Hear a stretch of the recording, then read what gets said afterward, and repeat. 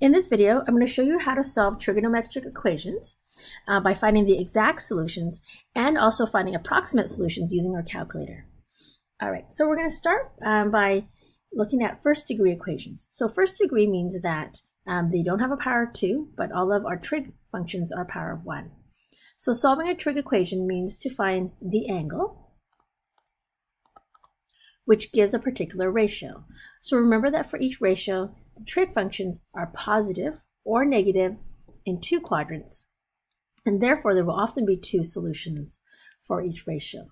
And I'll show you why in a little bit. So we're going to look at exact values first. So to solve for the exact values means that we need to write the solution as a rational number. So it's not going to be a decimal. Uh, this means that we're going to use the special triangles or the basic sine, cosine, and tangent graphs. So to remind us what this, these triangles look like, uh, I'm going to draw them over here.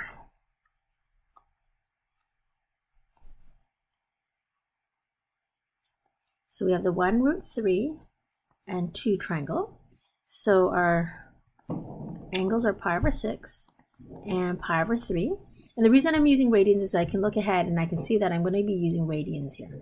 And that's indicated by uh, the solution between 0 and 2 pi. My other triangle is the 1, 1 root 2. And the angles here are pi over 4 and pi over 4. All right, so let's take a look at our first example. So we see that sine theta is a half. And what we're trying to do is we're trying to find an angle that when I sine it, it will give me the ratio 1 over 2. Now I notice that the ratio is a positive value. So I'm going to draw two angles, one in the first quadrant and one in the second quadrant because that is where sine is positive. Now, knowing that this 1 is an opposite value and the 2 is a hypotenuse, I'm going to label my triangle that I've drawn here as 1 over 2. Now, because I know I'm looking for exact values, I know that I have to go to the special triangles. So when I look and I match this up, I can see that it actually totally matches up with this first one, the pi over 6, pi over 3 triangle. So this must be root 3, and this is pi divided by 6 down here. So my reference angle, which I can see here, is pi divided by 6. Now to find my other angle, which is this one over here, I need to use my reference angle. So my reference angle is right here for that angle, and it has to be the same as my other one that I found here, so it's going to be pi over 6. And so, to find the angle in red, going halfway would be pi, so I need to take away the pi over 6, which will leave me with this angle here. So I'm going to go pi minus pi over 6, which gives me 5 pi over 6. And so then these two are my answers. All right, let's take a look at the next one. So we have tan theta equal to 1. So let's draw my grid again. And tan theta, so we're trying to find an angle, which will give me a positive ratio of 1. So tan is positive in the first quadrant, and also in the third quadrant. And then draw my triangle in the first quadrant to help me find the reference angle. And since the ratio is 1 over 1, I can place those uh, values on the sides of the triangle. And I know, therefore, then that's root 2. So using my special triangles, I can see it's a pi over 4 triangle. And so therefore, my reference angle is pi over 4. Now I'm going to find my second angle, which is way over here in the third quadrant. And to find this, if I go halfway, remember, that will give me pi, but then I need to go a little bit more. So I need to add pi over 4 to give me that full arc. So I have pi plus pi over 4, and that will give me 5 pi over 4. And there's my two answers. All right, let's take a look at last one here, where we have cotangent theta plus root 3. So this is one where we have a reciprocal.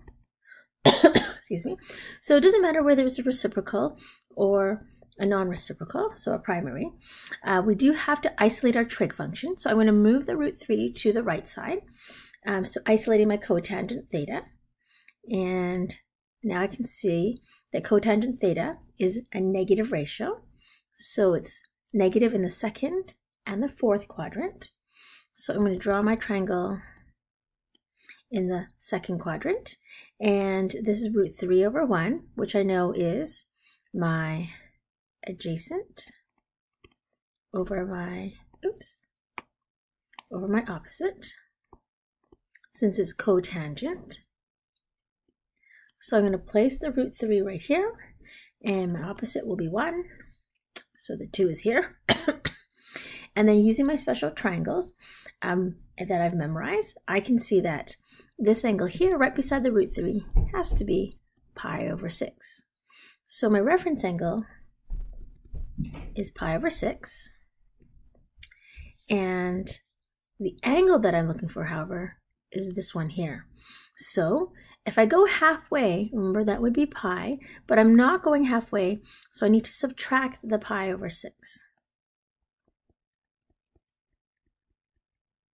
So that will give me 5 pi over 6.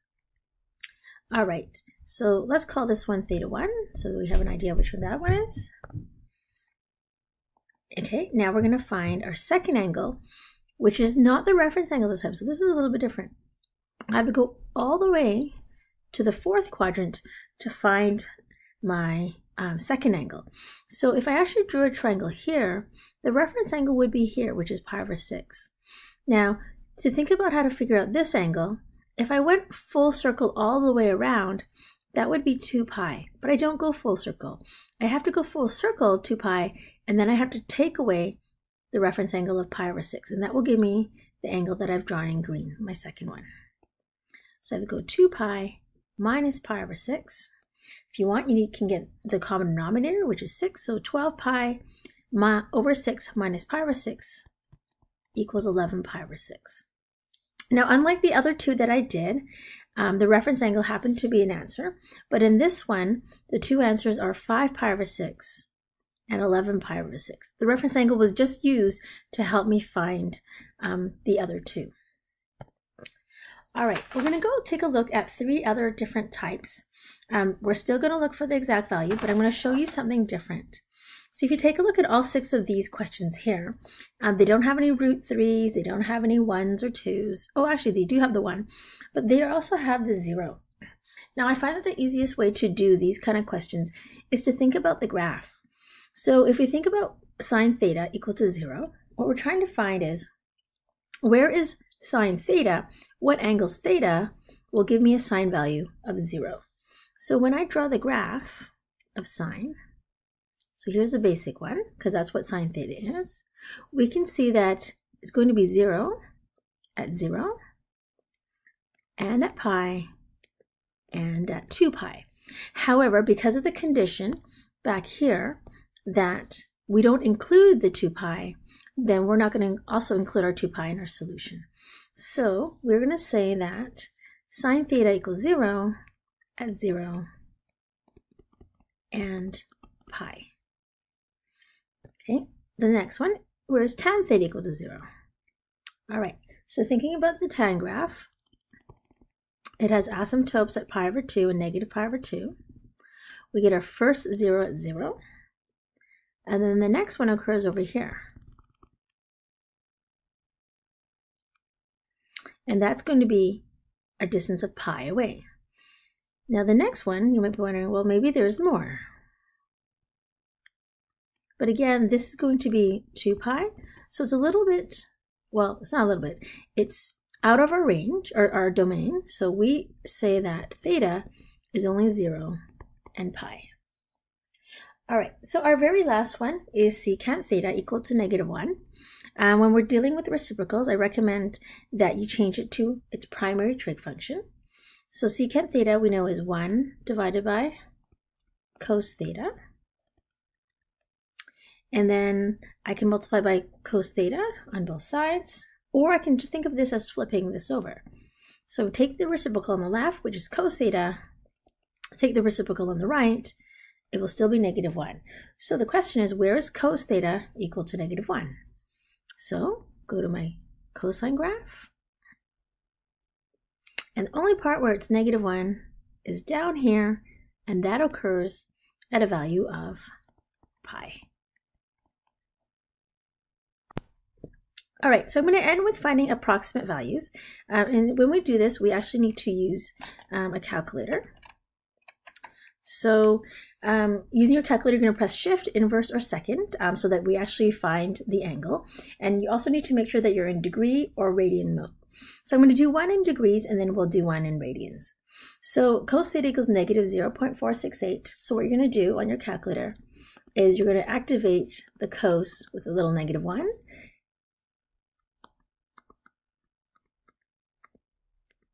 okay, which is say that you're going to find the inverse. And when you do this, um, you're going to get 62.095 degrees. All right. Now you might be wondering, well, why didn't I type in the negative sign? When you leave the um, sign as a positive and you type in the inverse, you're actually looking for the reference angle. And I actually find that very useful um, because you're going to use that reference angle now to find the two angles one in the second quadrant and the other one in the third quadrant um, where those angles are. And now the 62.095, that is this little reference angle here and also this little reference angle here. So those are the two 62.095s. So the first one, the red one, to find that in the second quadrant, we have to go 180 minus 62 0.095, and that will give you 117.905 degrees. To find the angle in the third quadrant, we go 180 degrees, and then we have to add the reference angle.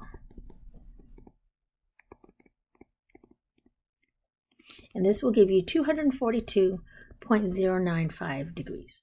So these are our two answers. The reference angle is not an answer. It's just um, a way to help you find the other two. So I'm going to show you how to do this also using radians. So we have tan theta equals 1.432. So again, you're going to activate the tan, inverse tan. And you're going to type this in as it is. This gives you a reference angle of 0.961.